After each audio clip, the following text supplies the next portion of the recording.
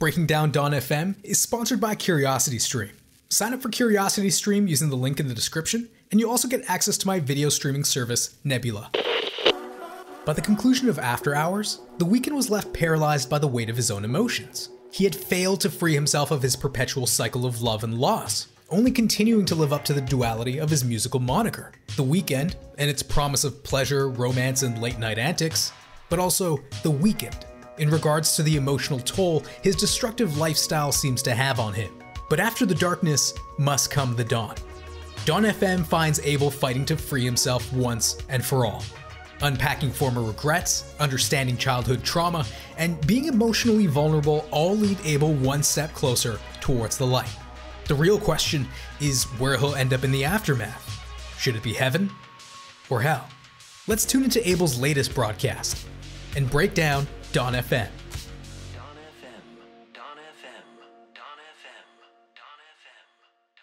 Bled dry by the sinful behaviors of After Hours, Dawn FM picks up the following morning, with the Weeknd alone again.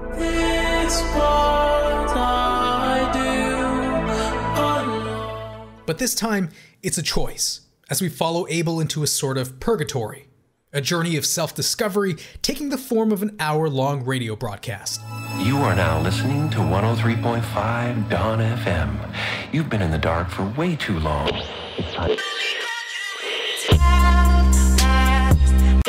It's 5 a.m. my time again. I'm calling and you know it's me.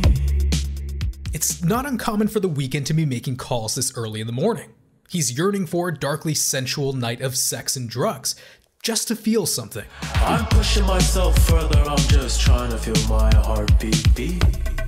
It's this kind of instant gratification that's left him so lonely by the end of every one of his albums. High and quickly dozing off, he's just wishing someone were there to save him in case of an accidental overdose. And if the worst were to happen, he instructs his fling on how to get rid of his body. Just wrap my body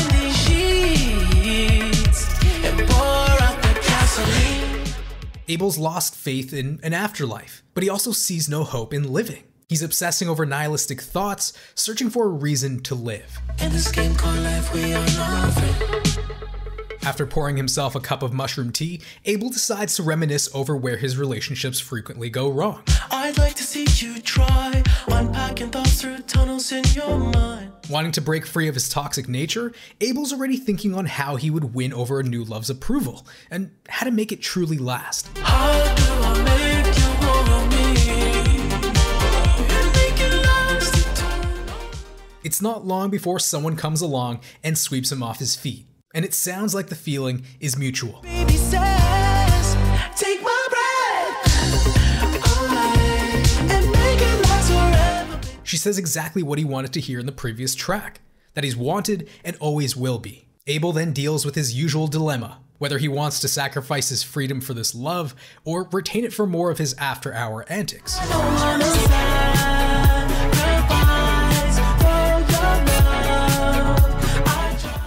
Refuses to fully commit himself to a monogamous relationship, instead, outlining boundaries for something more akin to fuck buddies. break you down and pick you up and fuck like we are friends.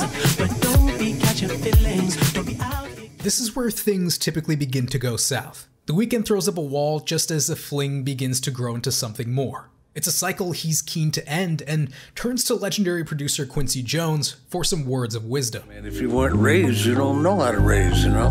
I just did the best thing I could. Quincy mentions the long lasting influence his mother's absence had on his life and love relationships. Growing up without a father, it's a wound Abel is attempting to heal from himself. Whenever I got too close to the woman, I would cut her off. Part of that was vindictive and partially based on fear. As an only child, Abel was raised by his mother and grandmother. When his parents separated, Abel's father would start a new family and was seldom seen afterwards. There comes a time in a man's life where he must take responsibility. The reason for his cold hearted ways has dawned on Abel. His shameful coping mechanisms were rooted in trauma. So much trauma in. The Weeknd's abandonment issues lead him to never fully commit to or abandon relationships when they begin getting serious. And when he finally decides on what he wants, he's usually a tad too late. Said I'm too late to make you mine at a time. His love interest typically has already moved on, leaving Abel to beg for her to change her mind and tell her that he'll be waiting for her. Baby,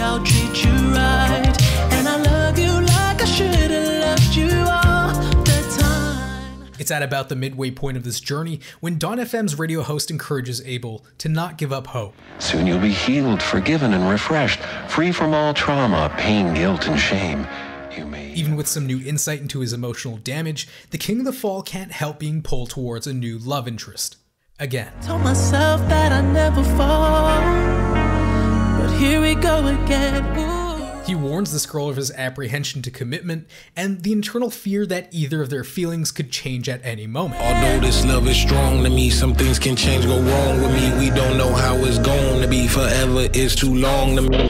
Don't make me make you fall in love with a nigga like me. Nobody needs a fall. So Abel attempts to fend off this budding relationship and keep things friendly. He's self aware of his detrimental cycles and warns this lover of what may happen if the pair advanced any further. I'll get clumsy and tear it apart. I love you so, but we can't get close. Where Abel would much rather keep things on a more surface level to avoid either of them catching feelings, this love isn't so interested in simply being friends with benefits. You don't wanna have sex as friends no more. Friends no more.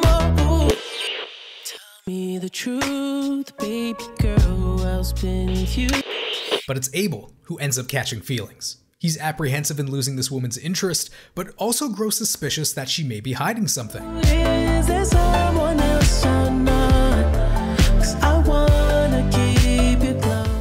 Heartbreakingly, Abel believes he doesn't deserve loyalty since he's never returned the sentiment himself. But now, when the Weeknd truly wants to change for the better, his actions keep affecting the future he's trying to shape, keeping him a prisoner of his old ways. I don't want to be a prisoner to who I used to be. I swear.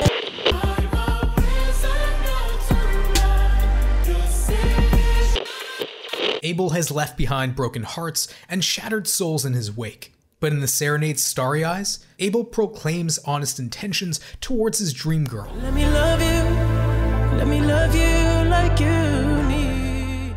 The Weeknd begins facing his fear, choosing to settle down and understanding that entering into any new relationship can be terrifying. Every angel is terrified. Abel has entered the afterlife, a life after the party and fleeting romances for what he believes to be his angel. The exotic, bizarre, and beautiful world of afterlife. And this is your invitation to enter. He's absolutely mesmerized by this woman, convinced she could do him no harm now that his intentions are pure. I think that you would die for me. Destiny. And this time I know for sure. Although his deep rooted fear of abandonment lingers. Don't break my heart.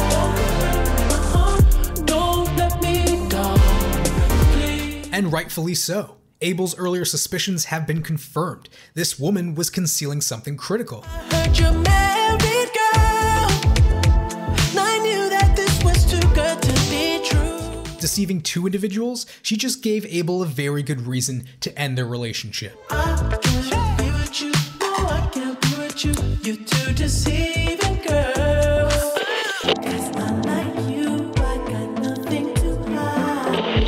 After his most sincere attempt at love yet, the Weeknd is still left alone again. He asks this woman for some sort of compromise, noting that he sees a bit of her nefarious ways in himself. Cause you were just like me before.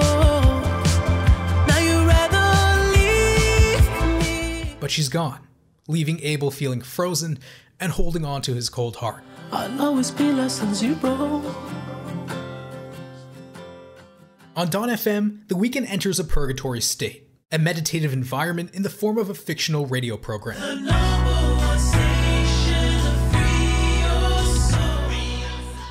While there, he unpacks previous regrets and the mistreatment of past partners. He faces down his deep seated emotional trauma brought on by the absence of a father figure, and he even gives true love a chance only to be double crossed and have it stripped away from him.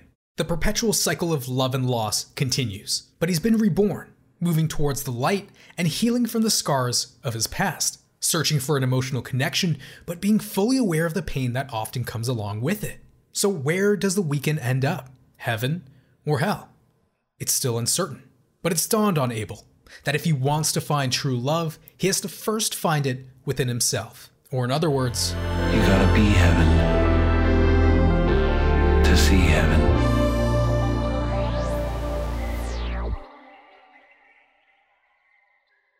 Thanks for watching, ladies and gents. Like the video if you liked it, subscribe if you loved it, and hit that bell so you're notified of when the next episode goes live. Follow us at More Middle 8 and support us on Patreon to get your name in the credits. If you want to hear me chat with some amazing artists, check out the PlayM8 podcast. It's all in the box below. My creative friends and I have teamed up to build our own streaming platform where we don't have to worry about copyright claims or how much music we use in our videos. It's called Nebula and it features a ton of exclusive content and originals from some of your favorite creators, like Adam Neely, Lessons from the Screenplay, Tom Scott, and a bunch of others. Nebula allows me and other creators to continue doing what we love to do create without limitations. There, our content is ad free and pushes some boundaries since we don't have to worry about YouTube's restrictions or the algorithm. And we've partnered with CuriosityStream to keep making it happen. If you're looking for some of the best documentaries on the internet, you'll find them on CuriosityStream. You've got Shut Up and Play the Hits that documents LCD Soundsystem's Madison Square Garden performance. Nick Offerman from Parks and Rec even has a series about the history of our homes. And of course, there's stuff like David Attenborough's Life on Earth that's just fascinating eye candy. So here's the deal.